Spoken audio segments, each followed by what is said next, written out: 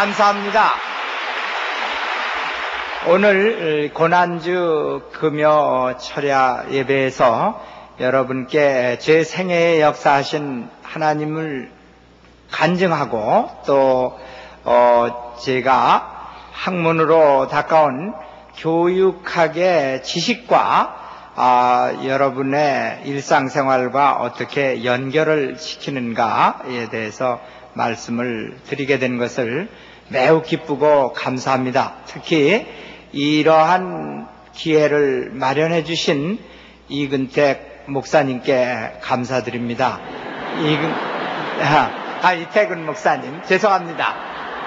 이태근 목사님께서는 특히 그 시카고 지역에서 어, 목회를 여러 해 하셔서 어, 제가 고향 분을 다시 만난 것 같은 그런 어, 느낌이 듭니다. 어, 지금은 돌아가셨습니다마는 그 노맨, 노만 빈센 필 박사님께서 그 저의 아, 자서전 빛은 내 가슴의 영문판이 1987년에 처음 그 출간됐을 때 그 책을 보시고 말씀하시기를 강 박사의 생애를 알고 하나님의 살아계신 역사를 부인할 사람은 아무도 없습니다. 그래 강 박사는 위대한 그리스도의 증인이요 위대한 크리스찬이라고 그 말씀을 하신 적이 있습니다. 정말로 어, 저의 생애를 알고 그 하나님의 존재를 부인하기는 어렵습니다. 저는 1957년에서 61년 그 4년 동안에 너무나 많은 것을 잃었습니다. 아버지가 세상을 떠나시고 1년도 못 돼서 제가 중학교 3학년 어, 때그 축구공에 눈을 맞아서 그것이 망막박리의 원인이 됐습니다. 그래서 즉시 그 시력을 잃게 된 것이 아니라 망막이 떨어지기 시작해서 차츰차츰 떨어지면서 시력이 악화되고 저는 병원에 입원 생활만 2년 가까이 했었습니다. 근데 그 병원에서 제가 아, 입원 생활을 하면서 그 수술을 받고 별 효과를 보지 못했는데 거기에서 소문을 듣기를 아, 젊은 목사님께서 저 대조동에서 개척교회를 하시는데 병 고치는 은사를 아, 많이 가지고 계시다. 그런 이제 소문을 병실에서 들어서 어, 현대의학으로는 고칠 수 없다는 그런 실명 선언을 받고 퇴원을 한 이후 바로 어, 이제 어딘지도 모르고 그 버스를 동대문에서 이제 불광동 가는 버스를 타고 불광동에서 내려서 거기서 뭐 목사님 성함을 아는 것도 아니고 제가 아는 것은 젊은 목사님 그리고 병 고치는 은사 그것만 아는 그런 상태에서 사람들 보고 물어보니까 어떤 사람은 저기라고 그러고 여기 없다고도 그러고 그러다가 이제 어, 느 분이 길을 가르쳐 줘서 찾아가 보니까 거기는 초라한 천막 내에 가마니를 깔고 그 예배를 드리는 그런 곳이었었습니다. 거기가 바로 이제 대저동의 순복음 교회였는데요. 그래서 거기서 어, 제가 그 조영기 목사님, 최자실 목사님 기도 받고 어, 그 교회를 2년 동안 다니면서 저의 신앙이 참으로 많이 성장했습니다. 제가 그때 목사님 설교에서 어, 들은 그 이름 중에 그 노만 빈센 필 목사님도 있었습니다. 그런데 그 노만 빈센 필 목사님이 어, 그 저의 책을 읽으시고 그 이제 하나님의 살아계심을 어, 부정할 사람이 아무도 없다 그렇게 말씀을 하셨는데요. 그런 상태에서 저는 이제 아, 그 병원에서 퇴원할 무렵에 저희 어머니가 병원에를 오셨어요. 그래서 저희 어머니 보고 어머니 제가 장님이 된대요. 그랬습니다. 그랬더니 그 어머니는 그 말을 들으시고 이제 아, 충격을 받으셔서 8시간 만에 뇌졸증으로 세상을 떠나시고 말았습니다. 그 저는 어머니가 돌아가셨는지도 모르고 어, 병원에 이제 있는데 저희 누나가 아, 이제 어, 머니가 병원에 오셨다가 다리를 다치셔서 면회를 못 오신다고 그래서 저는 깜빡 다 이렇게 속아서 한 2개월 정도 퇴원할 때까지 몰랐어요, 그것도. 그러다가 이제 집에 퇴원해서야 그 어머니가 돌아가신 것을 알았습니다. 그리고 저희 이제 생계를 유지하기 위해서 저희 누나가 다니던 고등학교를 중퇴를 하고 이 평화시장에서 그 봉제 공장을 어, 다녔어요.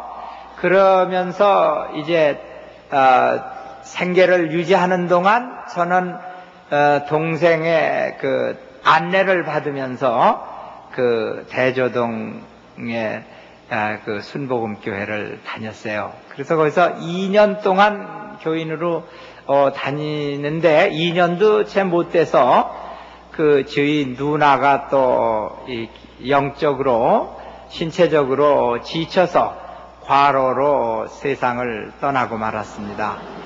그것이 1961년이었습니다. 지금으로부터 40년 전, 더는 더 이상 떨어질래야 떨어질 수 없는 그 인생의 낮고 낮은 바닥에 떨어져 있었습니다. 그런데 40년이 지난 오늘 여러분 세계에서 가장 큰 교회로 알려진 여의도 순복음 교회에 제가 또 미국에서 한국이 아니라 미국에서도 장애인으로서는 최고로 높은 자리에 올라간 상태에서 여러분 앞에 섰습니다. 네. 아주 감사합니다. 이 얼마나 아, 뜻깊은 일입니까? 그래서 오늘 제가 이 자리에 서서 여러분께 간증을 하는 것은 백악관의 부시 대통령 네 분도 아시고 계십니다. 제가 아, 그 편지를 써서 어, 40년 전에 가만히 이를 천막에서 가만히를 깔고 예배를 보던 그 교회가 거기에를 제가 다녔었는데 그 교회가 오늘날 전 세계에서 가장 큰 여의도 순복음 교회가 됐습니다. 그런데 그 여의도 순복음 교회는 교인 등, 교인의 수가 제가 알기로는 제가 그냥 그 옛날에 들었던 거를 어림잡아서 말씀을 드렸어요. 그래서 70만 정도로 어, 된다고 합니다. 거기에 금요 철야 예배에서 제가 간증을 하게 돼서 참으로 감개무량합니다라고 편지를 써서 보냈더니 또 보좌관을 통해서 잘 받으셨다고 하고 잘 다녀오라는 그 연락을 받았습니다. 그래서 어, 여러분들과 저와의 이렇게 만남이 그 백악관에서도 아시는 그러한 축복이 되었습니다. 예. 네. 이제 아 이러한 그 어려움 어, 속에서 이런 고난과 고통을 하나님께서는 모두 다 축복으로 바꿔 주셨습니다. 사실 오늘날 오늘 그 이제 예수님께서 십자가에 못 박혀 돌아가신 날인데요. 이 십자가의 고난이 없었다면 인류의 구원은 불가능했던 겁니다. 그래서 예수님이 인류를 구원하시려는 그 비전이 십자가에 못 박히는 고난을 통해서 이루어졌습니다. 그래서 오늘 제 간증의 첫 번째 그 메시지는 고난과 역경을 도전의 기회로 삼으십시오 하는 겁니다. 위드라 윌슨 대통령은 그 시련과 역경에 대해서 이런 이야기를 했습니다.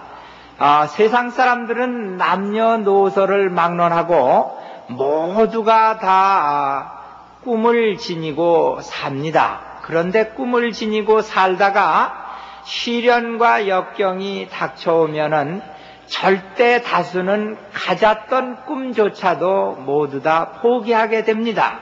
그러나 극소수에 달하는 사람들은 자기가 간직한 꿈을 포기하지 않을 뿐만 아니라 고난과 역경 속에서 새로운 비전과 꿈을 가지게 된다는 것입니다. 이러한 사람만이 이러한 사람만이 놀라운 꿈을 성취한다 이런 말을 했습니다. 그 제가 그이 어, 미, 미국에를 가기 전에 이제 이 한국에서 이렇게 시력과 양친과 누나마저 다 잃고 이제 새로운 출발을 하기 위해서 맹학교를 입학을 했어요. 서울 맹학교를. 그런데 그 맹학교에 낼 학비조차도 그 없었습니다. 그렇게 이제 가난했던 그런 거죠. 그래서 오늘 제 오늘날 그 제 아내가 아, 이제 속해 있던 그 어, 걸스카우 지도자 훈련 출입에서 이제 입학한 거 3개월 그 등록금을 이렇게 모금해서 줘서 어, 공부를 시작을 했어요. 그러니까 뭐 경제적으로 또 아주 전혀 그 어, 없는 전무한 그런 상태인 거죠. 그런데 어, 하나님께서는 하나님의 백성 인간 천사들을 저에게 보내주셔서 저의 학비도 낼 수 있도록 미국에서 이제 그 크리스찬 가정을 한 가족 소개해 주셔가지고 그를 소개하게 하셔서 그 가족을 지금은 다 돌아가셨습니다만은 그 어, 이제 후견인을 통해서 제가 서울맹학교 다닐 때에 학비와 연세대학교를 어, 졸업하는 그런 학비를 조달받게 됐습니다.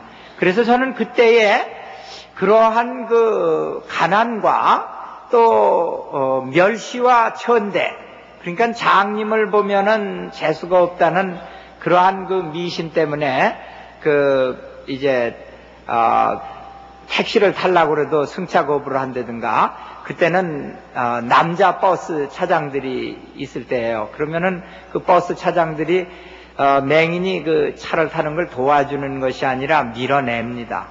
이제 어, 가다가 빵꾸 날까봐 재수가 없어서 그래서 밀어내는 이제 그런 상태입니다.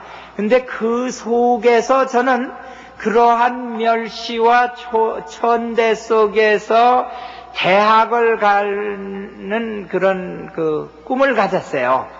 그리고 유학을 가는 꿈을 가지고 그 이제 그때 대학 입학 어 시험을 이제 준비하고 또 대학 입학 시험을 보려고 할 때 연세대학교조차도 이해가 부족해서 학생들을 장애인 학생을 그 받을 수 있는 학칙이라든가 이런 게 없었습니다. 그래서 그거를 이제 저희 집에서 6.25 사변 때 피난하신 목사님 도움으로 연세대학교를 설득시켜서 연세대학교에 들어가서 어 제가 어 우등생으로 공부하고 어 졸업할 때는 연세대학교 전체 차석으로 문과대 전체 차석으로 졸업을 했었습니다. 그래서 대학을 맹인으로서 가야 한다는 그러한 꿈을 성취하도록 하나님께서는 도와주셨고 그리고 이제 유학을 가서 미국에 가서 뭐 박사학위도 받고 교수도 되겠다 하는 그런 꿈을 가졌었는데요. 이제 그 국제 로타리 재단에서 장학금도 받고 미국에서 대학에 입학 허가서도 받았는데 한국에서는 문교부에 그 장애가 유학의 결격 사유로 돼 있어서 그 불평등 법적 조항 때문에 유학을 갈 수 없는 거예요. 떠날 수가 없는 거예요. 이 여권을 받을 수 없는 겁니다. 그래서 그거를 이제 어, 연세대학교 어, 총장님 추천을 받고 한미재단 총재의 추천을 받아서 어, 그 문, 민관식 문교장관 때 그 법을 없애고 제가 한국 맹인 한국 장애인 최초의 정규 유학생으로 미국을 갔습니다. 그래서 미국에 가서 이제 갈 때는 저를 이제 그 어, 학비를 어, 이제 걷어서 도와줄 때 참여했던 당시에 숙명여대 이제 영문과 1학년이었던 오늘의 아내와 10년 만에 결혼을 하고 떠났습니다. 그래서 그 유학을 떠날 때 이제 10년 만에 처음 만난 지 10년 만에 유학을 이제 떠났는데요. 그때에 이제 우리 그 두 사람과의 관계는 그래서 네 번을 변했어요. 그러니까 첫 번째는 선한 사마리아인과 강도 만난 사람의 관계로 저는 강도 만난 사람으로 도움을 받는 그런 관계로 됐습니다.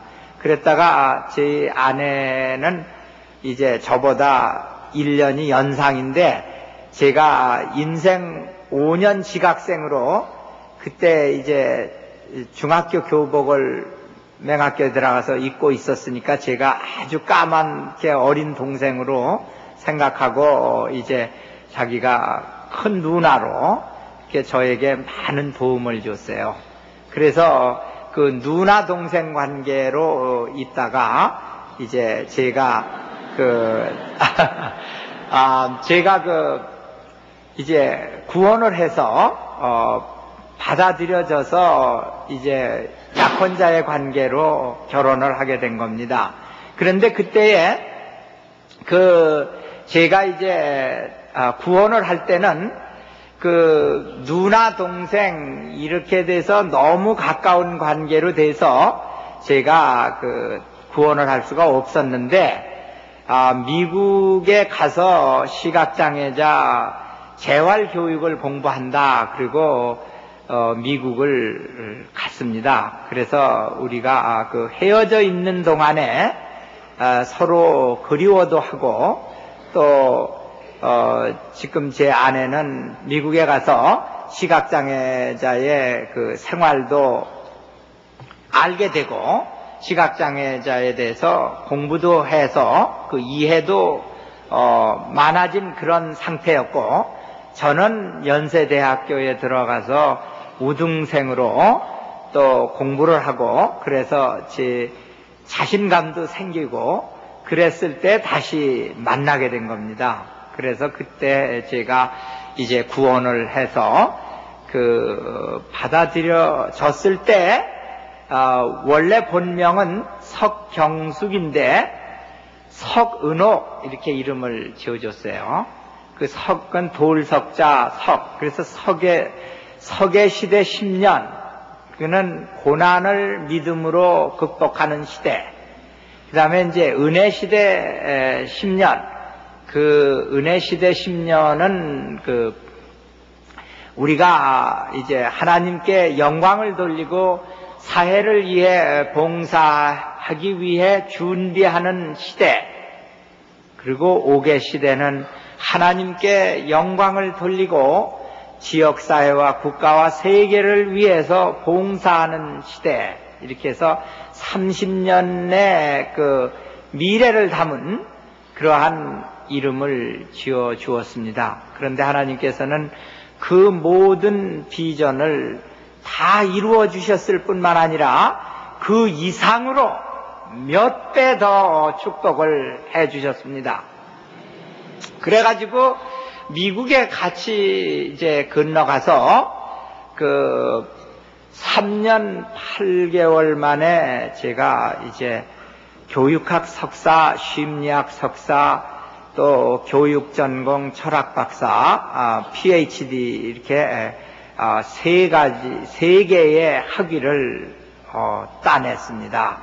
그리고 그러는 동안에 어, 이제 두 아들이 이제 태어나서 어, 우리는 두 아들의 그 부모가 된 그런 상태에서 이제 박사학위를 1976년 4월 25일, 그러니까 지금으로부터 25년 전에 받았습니다.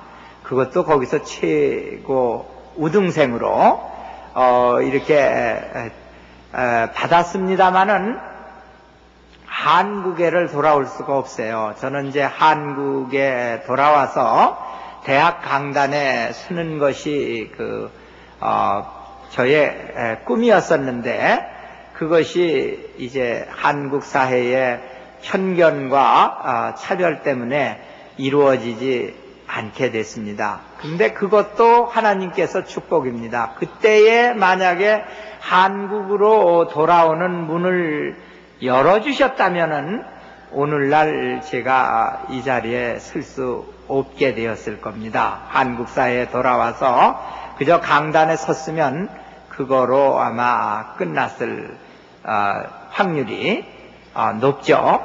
근데 그때 제가 이제 한국을 박사를 받게 됐으면서도 한국을 돌아오지 못하게 그런 상태니까 얼마나 그, 어, 이, 어, 실망을 했겠습니까? 그, 낙담이 되고 또 이제 비자는 죽어서 그 더 이상 거기서 머무르는 것은 불법이고 그런 상태에서 이제 2개월이 될 때 2개월이 지난 6월에 저희 둘째 아들이 그 태어났습니다.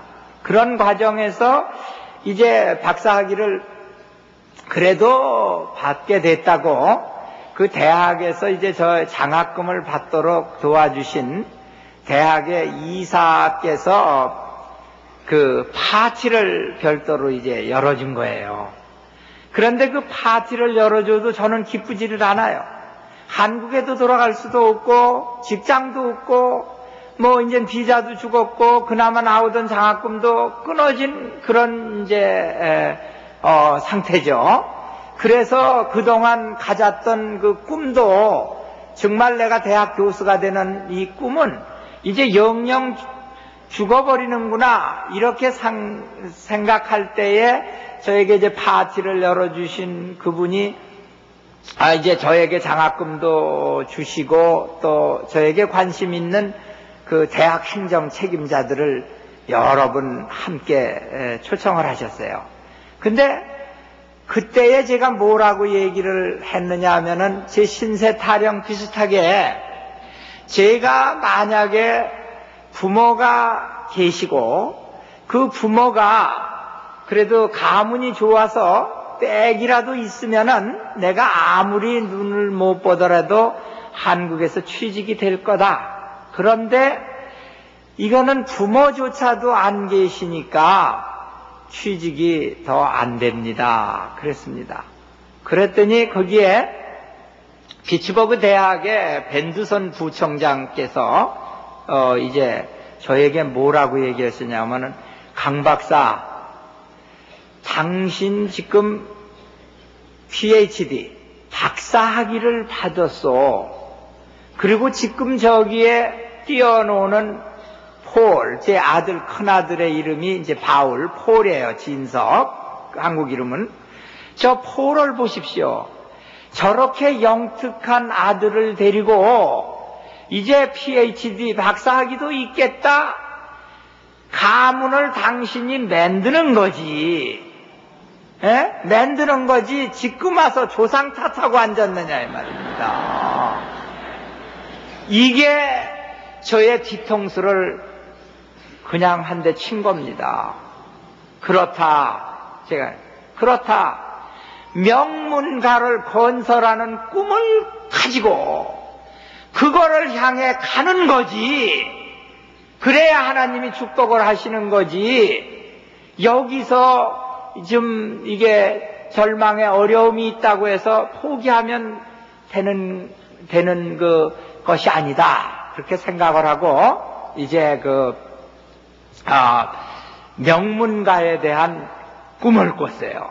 그래서 명문가에 대한 꿈을 꾸면서 제가 아, 무엇을 생각을 했느냐 하면은 제가 이제 신앙적으로 이렇게 시력을 잃고 가정의 부모도 잃고 누나도 잃고 그 신앙적인 갈등이 굉장히 컸어요.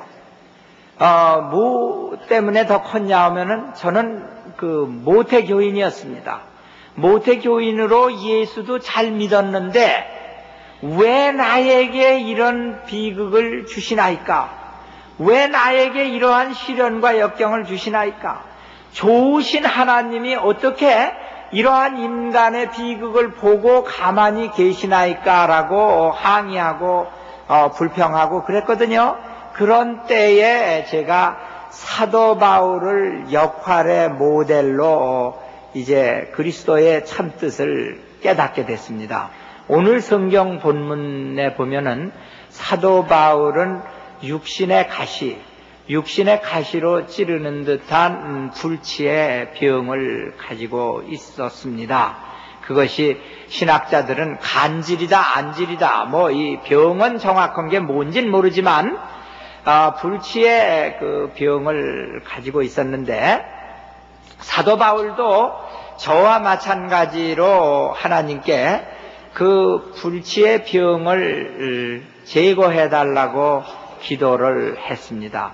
세 번 기도를 했는데 아, 그 세 번이라는 것은 유태교 전통에서 마지막 기도다, 마지막 강구다. 예? 그러니까 세 번을 간구해도 안 주시면은 그것은 하나님의 그 뜻이 아니다. 이런 걸로 이제 더 이상 간구를 안 한답니다. 그러니까 우리가 아버지한테 어머니한테 뭐를 간구할 때 그 어머니 아버지로서 이게 많은 분들이 부모잖아요. 부모님들이 자녀들에게 줄 수 있는 그 대답이 뭐예요? 세 가지예요. 하나는 yes, 그렇 그래 줄게. 그리고 그대로 주는 거. 그럴 때는 받아가지고는 감사합니다. 쉽죠, 이거는. 그런데 그것이 우리 자녀들이 달라고 그랬을 적에 강구한다고 그랬을 때 다 주는 건 아니고 안 된다. 노. 이거는 안 된다. 그러고는 그거를 안 줄 때가 있다고요. 그러니까 하나님이 우리의 기도를 들을 때도 마찬가지예요. 안 줄 때, 노 할 때. 그 다음에 또 하나님께서 지금은 때가 아니다. 우리 부모들이 하듯이요. 지금은 때가 아니다. 기다려라. 때가 오면 주마. 이럴 때. 저도 두 아들을 기를 때에 특히 그 둘째가 큰아이 하는 거는 뭐든지 해달라는 거예요. 그러니까 그럴 때는 너도 3년 기다려라. 너도 고등학교 때까지 기다려라. 그러면 해준다. 이렇게 기다려라 할 때도 있단 말이에요. 그런데 우리가 하나님께 간구했을 때 저처럼 이게 노 하고 안 고쳐주셨을 때 하나님께 간구했을 때 그 기도를 제가 원하는 대로 안 기도를 안 들어주셨을 때 저는 하나님을 원망했어요. 그리고 불평했습니다. 그런데 사도 바울은 no 하셨는데 어떻게 했어요? 사도 바울은 no 했을 때 내 은혜가 내게 족하다. 그리고 가지지 못한 것, 고쳐주시지 않은 것에 대해서는 집착하지도 불평하지도 않고 자기가 가진 여러 가지 은혜에 대해서 내 은혜가 족하다. 그리고 감사를 했단 말입니다. 예? 여기서 저는 사도 바울을 역할 모델로 해서 이 내가 지금 가지고 있는 실명, 이 육신의 가시는 하나님이 나를 벌주기 위해서 주시는 게 아니라 아니다. 왜냐하면 사도 바울과 같은 이 기독교의 창시자, 아, 신약 성경 14권을 쓴 사도 바울까지도 이러한 육신의 가시가 있고 시련과 역경을 당할 수도 있는 거다. 그러니까 그 하나님의 다른 뜻이 있을 수 있다. 이런. 그 다음에는 사도 바울이 세 번을 강구했는데 마지막 강구를 했는데도 안 고쳐 주셨을 때 사도 바울은 불평하지 않고 내 은혜가 내게 족하다. 그리고 감사했다 이 말입니다. 여기서 제가 긍정적인 신앙을 갖기 시작한 거예요. 그렇다. 내 실명은 장애가 아니다. 하나님께서 내게 주신 사명을 수행하는 도구다. 그러니까 그때부터 도구가 되는 겁니다. 네?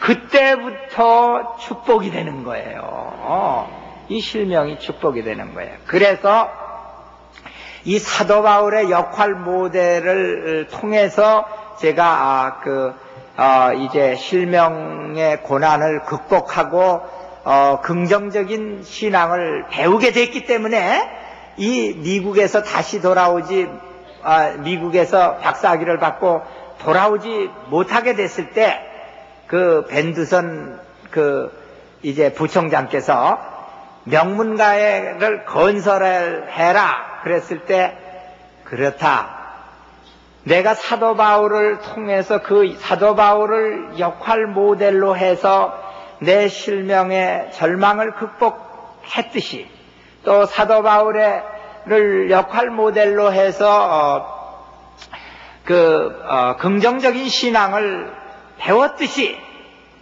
이 명문가에 대한 역할 모델을 한번 찾아보자. 어느 가정이 명문가냐? 어느 가정이 명문가냐? 그 명문가를 찾아서 그 사람들 혼대로 한번 따라가 보자. 그러면 되는 게 아니냐. 그런 생각이 들더라고요. 그래서 명문가를 누구를 명문가로 찾아볼까 그러다가 첫 번째로 찾은 게 누구냐 하면은 링컨, 링컨을 찾은 거예요. 링컨 가정은 아주 보잘것없는 가정이에요. 깨지고 아주 저, 저 찌들게 그 가난했던 가정이죠. 목수의 아들로 태어나 가지고 그 어머니가 그 이제 에브라함 링컨의 어머니가 어, 성경을 읽어주면서 글 읽는 걸 가리키니까 그 아버지가 뭐라고 얘기했냐면 얘가 자라서 농사나 질 건데 글 읽는 건 가리켜 뭘 하느냐. 글 가리킬 거 없다. 그럴 정도의 가정이에요 그럴 정도의 가정에서 어, 그, 어, 정말 링컨은 이 세상에서 어, 그 시련과 역경을 가장 그 많이 당한 사람 중에 하나거든요.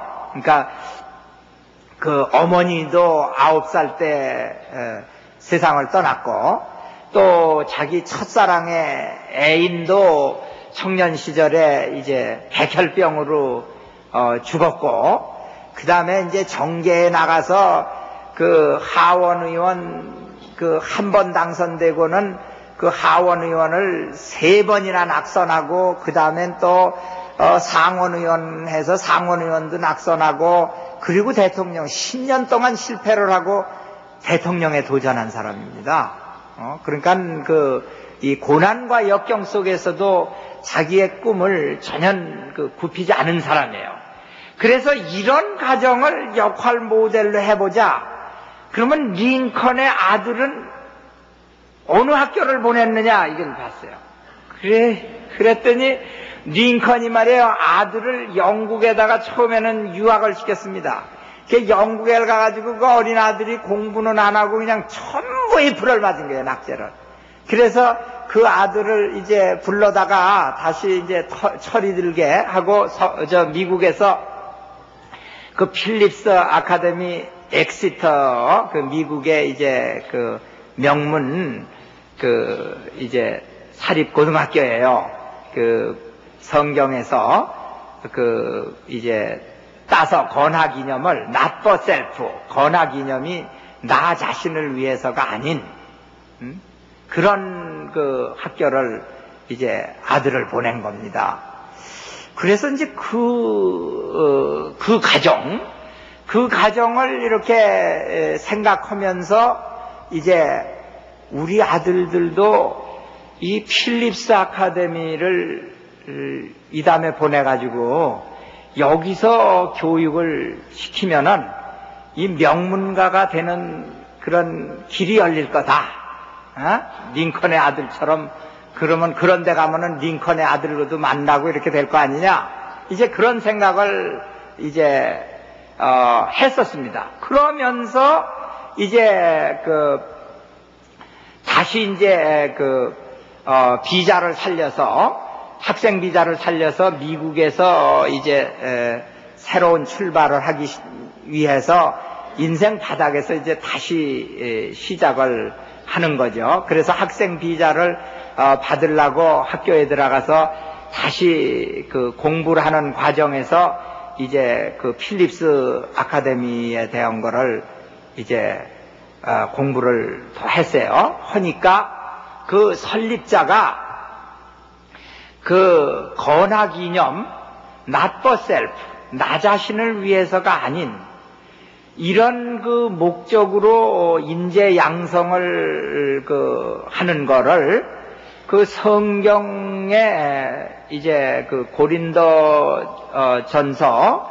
어 10장 31절 어 그런즉 너희가 무엇을 하든지 먹든지 마시든지 하나님의 영광을 위해서 해라 이, 이 구절 있잖아요. 그래서 어, 나 자신을 위하지 않고 하나님의 영광을 위해서 그 다음에는 그 이제 누가복음 6장 38절에 그 주라 그러면 네가 이제 에, 어, 후히 받을 것이다 한 그 어, 말씀 있잖아요. 그래서 어, 최선의 것을 주는 인간을 기르는 자기 자신을 위한 것이 아니라 위로는 하나님의 영광을 위하고 땅에서는 그 지역사회와 국가와 세계를 위해서 주는 최선의 것을 주는 인생을 사는 인재를 기르는 걸로 혼합이념이 된 거예요. 그래서 이거야말로 정말 어? 명문가를 만드는 아들을 기르는 데고 하나님께 영광을 기르는 아들을 보내는 그런 학교가 되겠구나. 그러고 필립스 아카데미를 보내는 그런 꿈을 꿨어요. 그 사람들은 비웃었을 겁니다. 이거 비자도 없고 한국에서 직장도 없어서 한국도 못 가고 지금 인간의 바닥에 저렇게 떨어진 상태에서 아들을 주제넘게 무슨 필립스 아카데미를 보내느냐. 그러나 저는 그런 꿈을 가지고 그때부터 시작을 했습니다. 그래가지고 1990년에 1990년 그 전에 이미 저희 큰아들은 필립스 엑시터 아카데미 링컨 대통령 아들이 다닌 학교를 그 후 13년 만에 보냈고 그 다음에 15년 만인 1970, 아, 1990년에 1990년에 이제 필립스 아카데미 앤드오버 그 필립스 아카데미가 두 개거든요. 건학 이념도 똑같아요. 어 근데 그 거기를 둘째 아들을 보냈어요. 둘째 아들을 보내고 이제 어, 9월에 보내고 어, 3개월이 돼서 10월 말에 Parent Weekend라고 해서 그 부모들을 위해서 아이들이 이제 공부하고 이러는 거를 학교에서 이렇게 보여주는 그런 주말에 학교를 갔어요. 가면서 제가 그 영문판 빛은 내 가슴에 당시에 그걸 이제 가지고 가서 그 교장 선생님께 그거를 한 권 드렸습니다. 그래 그걸 한 권 드렸더니 그분이 이렇게 여기저기 훑어보시더니 아 이거를 부시 대통령한테 지금 부시 대통령이 아니라 아버지 부시 대통령이죠. 그 부시 대통령한테 이걸 한권 아, 보내드려라. 부시 대통령은 어, 우리 학교 어, 어, 동문이시고 작년에 이제 200주년 기념으로 현직 대통령으로 이 학교를 방문하셨을 뿐만 아니라 그 Americans with Disabilities Act 미국 장애인법을 서명하시고 그것을 자랑스럽게 생각하시는 분이니까 그분한테 그걸 한 권 보내드려라 그래요. 그래서 제가 이제 둘째 아들하고 그 집에서 어, 편지를 하나 부시 대통령한테 썼어요. 그 이 맥로마 교장 선생님께서 이 책을 당신에게 보내드리라고 그래서 보내드립니다. 그러면서 이제 거기에는 저희 아들에 대한 거, 저에 대한 거 장장 써가지고 가족에 대한 거를 장장 써가지고 이제 부시 대통령한테 백악관으로 보냈습니다. 그랬는데 그때만 해도 뭐 백악관에 그걸 대통령한테 보내면 이게 대통령 손에 들어가기나 하는가 안 하는가 그런 것도 모르고 그냥 뭐 들어가면 다행이고 안 들어가면 또 그만이고 그리고 이제 보내놓고 잊어버렸어요. 그런데 이제 5주가 돼서 저는 이제 해답 도 안 오는 걸로 생각을 했는데 5주 만에 편지가 왔는데 그거를 뜯어보니까는 부시 대통령이 친필로 사인을 한 거예요. 타자는 썼지만은 내용이.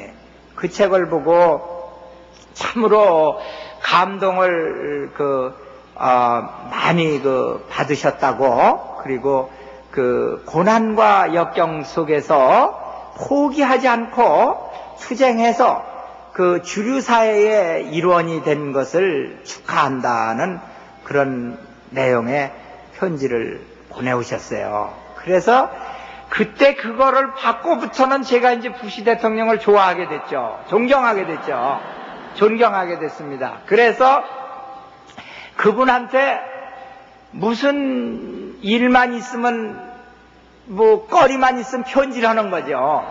네? 그래서 1994년에는 어, 그 문화방송에서 어, 왜그 안재욱, 김혜수 씨 등이 그 출연한 특집극 그 눈먼 새의 노래 그거 할 적에 그, 그 에필로그 그 뒤에다가 저한테 편지에다가 쓰신 내용을 거기다가 좀 얘기 좀 해주십시오. 그래서 예, 에필로그에 출연해서 그래서 에필로그에 거기 출연해서 부시 대통령이 얘기를 하신 거예요. 거기에 강영우 박사를 보십시오.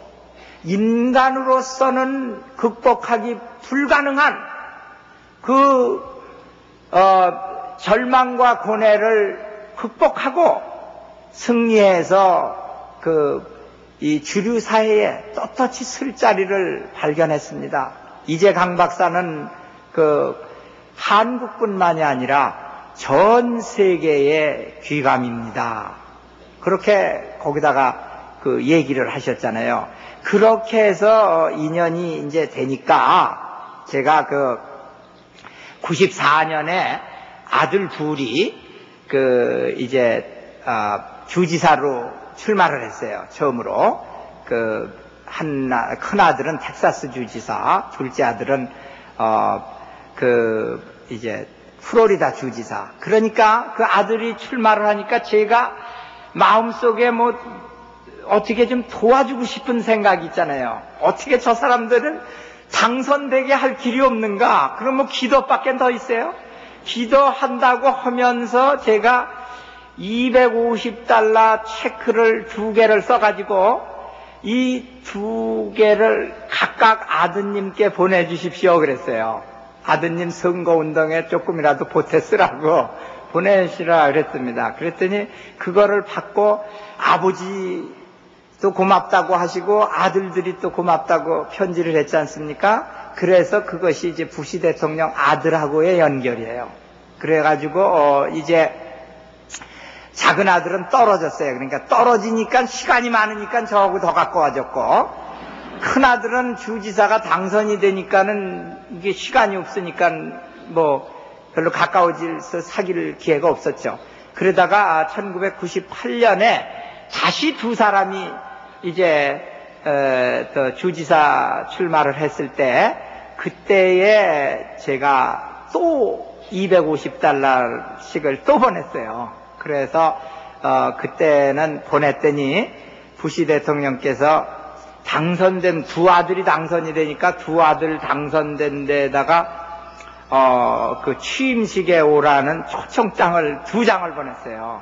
그러니까 뭐 제가 뭐 두 군데까지는 갈, 갈 수가 없고 가만히 보니까 큰 아들한테 가는 게 나을 것 같아요. 그러니 큰 아들은 큰 아들은 대통령 나온다 그러니까 혹시나 또 대통령 나오면은 그게 저거 하지 않을까. 그래서 큰 아들 그, 어, 이제 취임식에를 오스턴 텍사스를 갔습니다. 그래서 그 텍사스에 갔더니 그 취임식을 하는데 그 취임식에 그, 아, 이제 시작은 빌리 그레암 목사님 기도로 시작해가지고 취임식 연설을 하는데 뭐라고 그러냐면은 자기의 정책에 어? 정책의 그, 어, 어, 이 바탕이 되는 두 개의 성경 구절을 얘기하는 거예요. 하나는 하나님의 형상대로 우리는 지음을 받았다.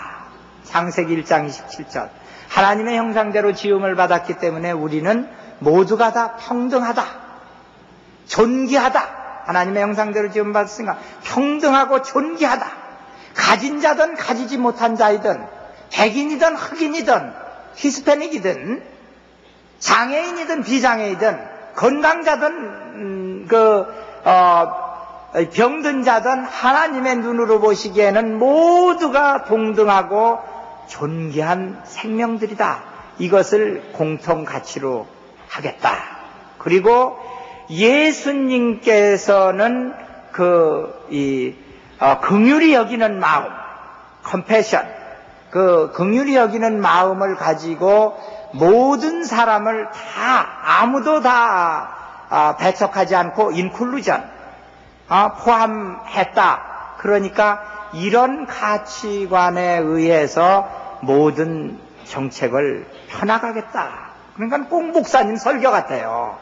그런데다가 끝에는 또 이제 어, 그 이제 유태교의 레바이가 그 기도로 해서 취임식을 끝나더라고요. 그래서 참 어, 거기에 어, 처음에 갈 때는 혹시 대통령이라도 되면 뭐 또 이런 생각도 가지고 갔다가 거기 가서 크게 감동을 받았어요. 그걸 듣고 그랬다가 이번 대통령 취임식에 그 또 초청받아 갔더니 그 두 가지 내용은 주지사의 연설하고 그 어, 똑같습니다. 그러니까 창세기 1장 27절 어, 말씀하고 어, 선한 사마리아인의 이야기 이거는 대통령 연설에도 넣고 이 가치를 어, 기본으로 해서 어, 정책을 펴나가겠다. 그리고 지금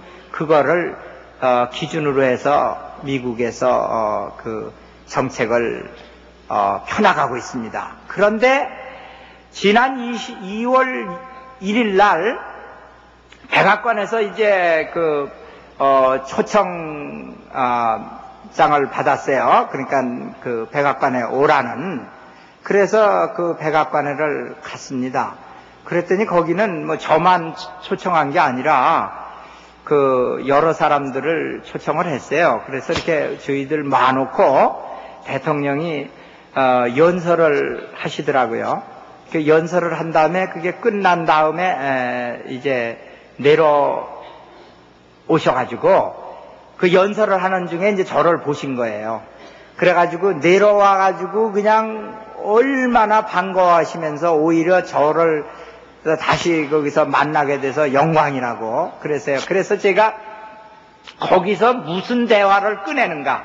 다른 사람들은 그 주위에 다 있고 그 대통령이 잠깐 와서 인사만 하는 건 또 의미도 없고 그래서 제가 뭐라고 얘기를 했냐면 당신의 그 어, 저기 그 주지사로서의 취임 연설과 대통령으로서의 취임 연설에 공통된 게 두 개 있더라 그랬습니다. 그 두 개가 뭐냐 알아보고 그래요. 그랬더니 그래서 그 창세기 1장 27절에 하나님의 형상대로 지음을 받았던 거에 대해서 평등과 존엄의 가치를 추구하고 또 선한 사마리아인에서 그 이야기에서 그 이제 컴패션과 인클루전 아, 그 공감하는 마음, 동참하는 마음, 온정을 베푸는 마음, 참여시키는 마음 이런 걸로 정치를 하겠다라는 그 말씀이었다 그랬더니 이분이 뭐라 그러냐면 쾌감을 느끼도록 기쁘다고 그러시면서 저를 다시 모시는 거예요.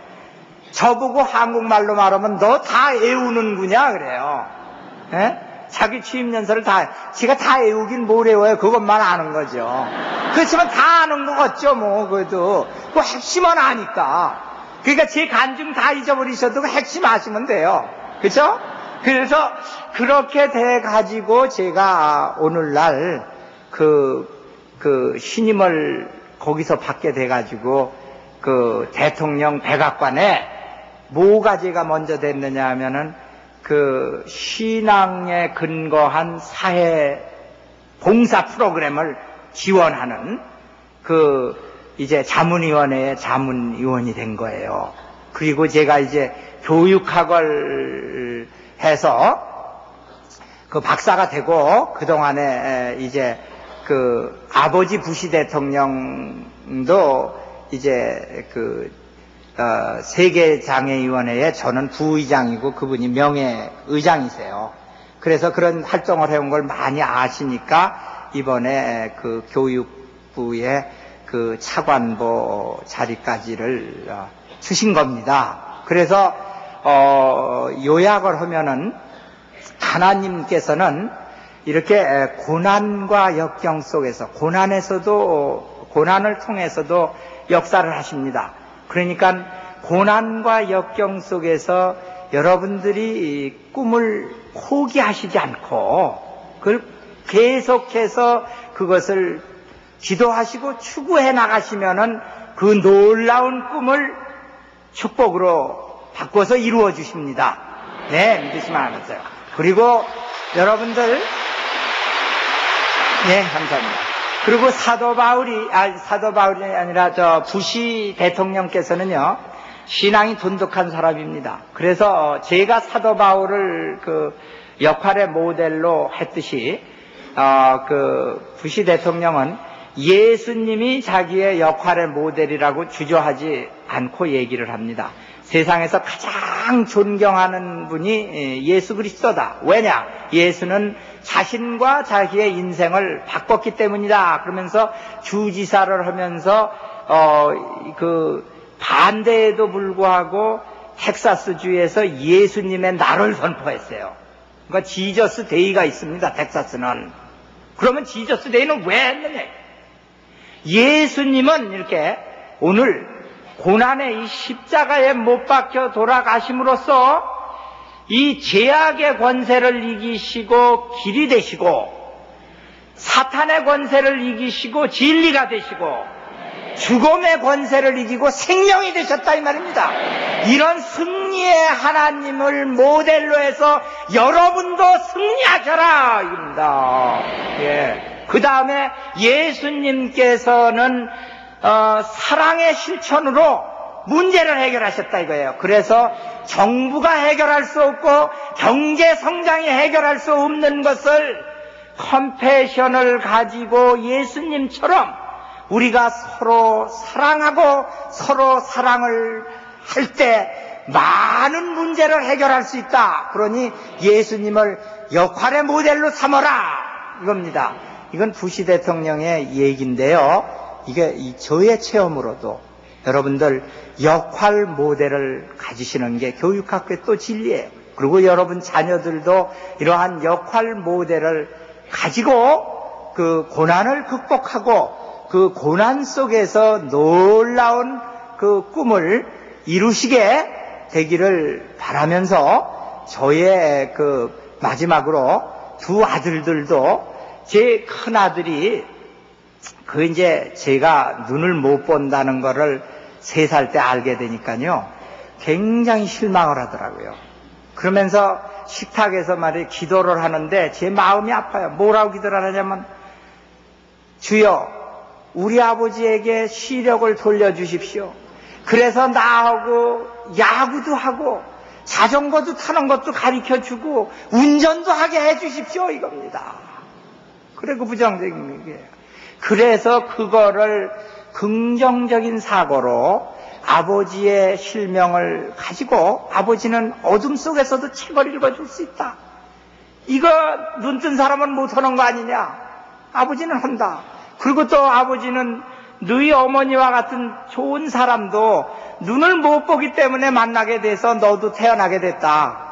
이렇게 긍정적인 이 신앙과 사고를 받게 하니까 뭐라고 얘기를 하냐면 아빠 내가 커서 안과 의사 돼서 아버지 눈 고쳐줄게. 그래 그래 너 의사 돼서 눈 고쳐라 아버지. 여러분 그 꿈이 이루어졌습니다.